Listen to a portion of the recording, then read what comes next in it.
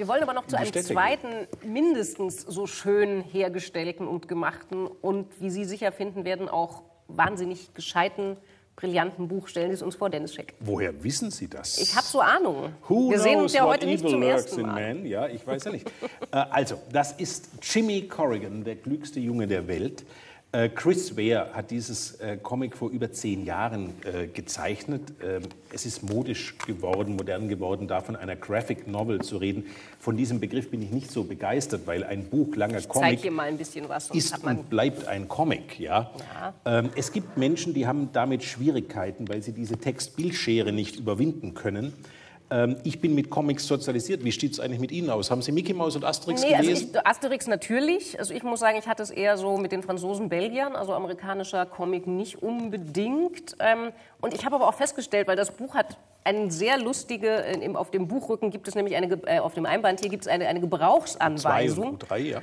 Und äh, es gibt hier einen sehr lustigen, so klein geschriebenen, dass ich irgendwie meine Kontaktlinsen nicht reichen, Test ähm, der sozusagen prüft, ob man überhaupt tauglich ist, dass man mit diesem Buch was anfangen kann.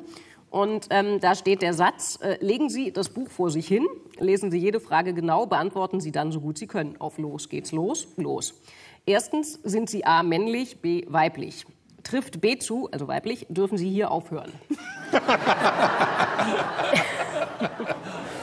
Bestärkt das meinen Verdacht, dass Comics vielleicht doch eher sowas für verschreckte Nerds mit einem komplexen Vaterverhältnis sind? Äh, Herr Kopjuweit, ich frage Sie mal, waren Sie ein großer Comicleser?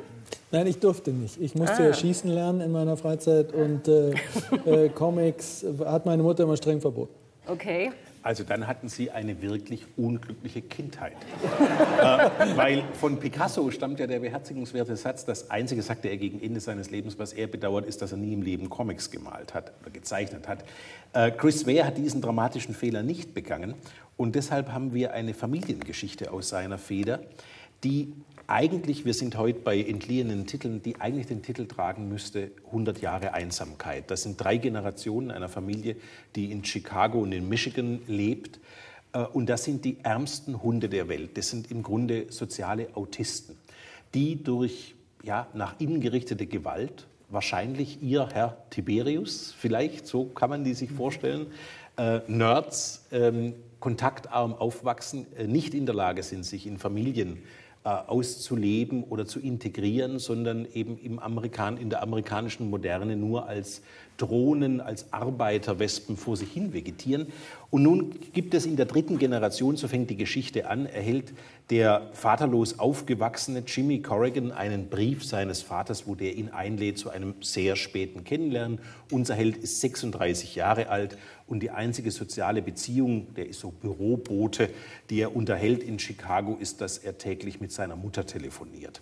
Von Sie ihn da, anruft im Wesentlichen. Ja, von so da ist. an geht's aber los und wir tauchen ein in eine, eine fantastische Welt. Ähm, das ist eben nur das, was ganz große Kunst uns nahebringen kann. Wie sieht es im Gehirn eines solchen Menschen aus? Ist das wirklich so ein armer, so ein fantasieloser Tropf? Nein, der hat ein ganz reiches Innenleben. Er ist nur nicht in der Lage, die Festung seiner Einsamkeit zu sprengen.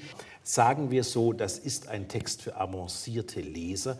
Und es gibt natürlich das Missverständnis, dass der Comic äh, irgendetwas äh, für Kinder sein sollte. Um Gottes Willen, dies ist ein Werk, das nehmen wir aus den schmutzigen Pranken unserer lieben Kleinen und das lesen wir selber. Und zwar mit eingeschaltetem Verstand, weil es handelt sich hierbei um große Kunst und nicht um so einen armen kleiner Bilderwitztropf. Ja? ja, nicht diese Bilderheftchen eben, die ich nämlich eigentlich auch nicht lesen durfte, ja. weil eben so Nein, das, das ist ein Bildungsbürgertum. Aber der zeigt, wie, also wenn Sie allein diese Seitenarchitektur von diesem... Was auch ganz toll ist, aber dass dieses äh, Buch keine Seitenzahlen hat, was die Orientierung ungemein erleichtert. Äh, es ja. hat ungefähr 400 Seiten, aber keine Zahlen. Aber das gut. ist eine künstlerische Absicht, die sich dahinter ich fürchte, Ja. Aber äh, es gibt 1893 in Chicago eine Weltausstellung. Der Urgroßvater unseres Helden baut die mit. Das ist im Grunde mit das Elend. Es gibt eine wahnsinnig tolle Schneemetaphorik in diesem Roman. Gleichzeitig ist es nämlich ein Roman über die Rassentrennung und die, das Zusammenleben der Rassen, wie es eigentlich sonst nur John Updike geschrieben hat. John Updike, von dem der berühmte Satz steht, die einzige Lösung der Rassenfrage ist äh, die Heirat zwischen den Rassen. Und so ähnlich ist es auch, der Jimmy Corrigan stellt dann äh, fest, dass er eine schwarze Stiefschwester hat.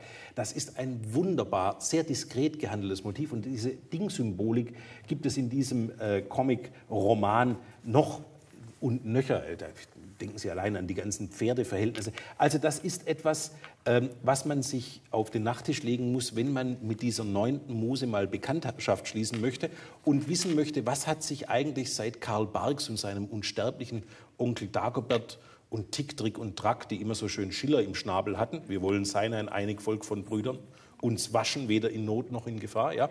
Ähm, was hat sich seit Karl Barks denn im Medium Comic getan? Dann ist man hier an der richtigen Ja, vielleicht Adresse. ist das ja auch ein Tipp für die bildungsbürgerlichen Eltern, die uns jetzt zuschauen. Also die Kinder sollen erst die Hände waschen und dann legen sie ihnen dieses Buch auf den Gabentisch und die wollen wahrscheinlich nie wieder Comic Kinder, lesen. Kinder, Kinder, oder? das ist ein Missverständnis. Eben. Das ist kein Comic, das sich an Kinder wendet.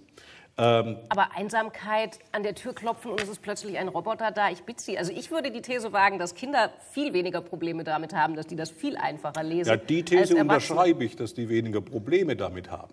Sie würden sagen, Sie den Reichtum. Also die kämen wahrscheinlich nicht auf die Idee, dass es John Updike in Bildersprache ist. Das kann allerdings, wobei es kommt auf die Kinder an. Noch einmal, es handelt sich hier um große Literatur, um Weltliteratur, um Okay. kein Kinderbuch, auch wenn es Gut, Bilder enthält. halten wir fest, es ist ja auch schon spät in der Nacht. Es ist kein Kinderbuch, sondern Weltliteratur. Jimmy Corrigan, der schlauste, nein, der klügste Junge der Welt von Chris Ware.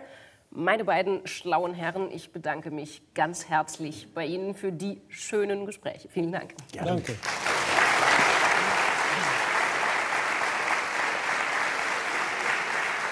Jetzt dürfen